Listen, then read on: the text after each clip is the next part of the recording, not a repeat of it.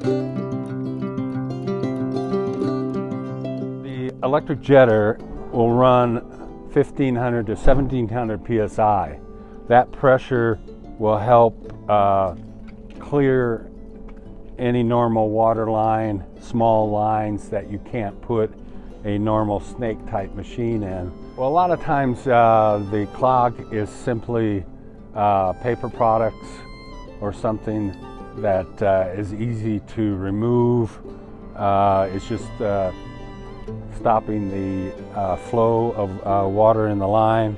So in that case, you don't want to run a blade or um, something heavy duty snake down that line to clear it. You want to run just some pressurized water down there and that's what this is capable of doing.